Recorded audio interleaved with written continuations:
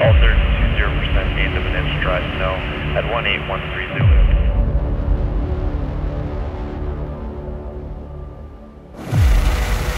이 항공기가 개발을 할 때 조건이 있습니다.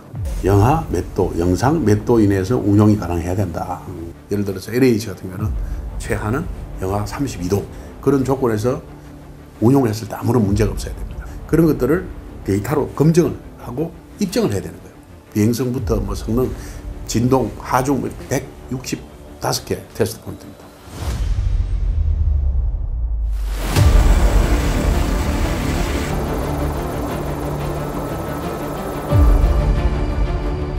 오개년 10개년의 온도 데이터를 저희가 다 분석을 한 결과 32도를 좋아할 수 있는 평균적인 확률이 가장 높은 곳 옐로우 나이프가 된 거죠. 총 81일이 해외 옐로우나이프에 있었거든요. 춥다라는 단어로는 표현이 안 되는 한 번 손이 시렵네 아프네라고 하면 회복이 안 돼요. 어, 10개 손가락이 다 껍질이 벗겨지고 거기서 굉장히 힘들었던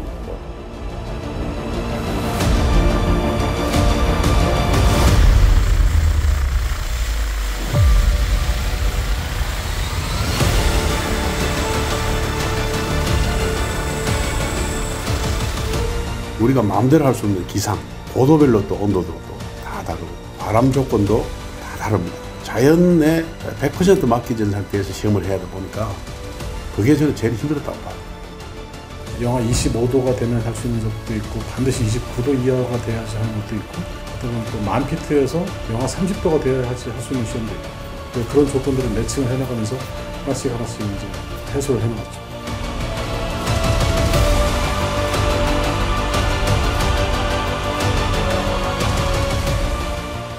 KAI에 있는 우리 엔지니어, 크루, 뭐 지원 인력, 방사청, 관련 연구소 등등 소속된 인원들이 제가 봤을 땐 적어도 국가대표라는 생각을 한 것 같아요. 그때만은. 실패를 하면 어떻게 해야 할까?